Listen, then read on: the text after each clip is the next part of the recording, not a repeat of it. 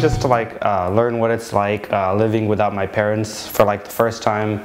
I think that's going to be the biggest difference. Like I'm not going to have my uh, sister either, like or any of them. I'm just going to like have to learn how to um, like manage myself more and keep my studies, keep myself more organized, and yeah, I think that's what I'll what I'll gain out of this experience.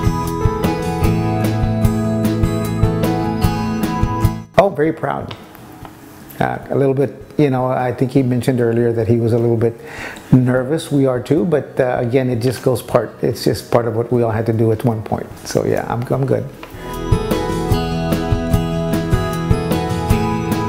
Be more independent to learn like how to like sustain yourself without having to rely on your parents for everything. Pues I'm sad because she's not gonna be at home, but I'm also excited for her because it's a new, uh, it's a change, and she's she was waiting for this. She's very excited, so I'm excited for her.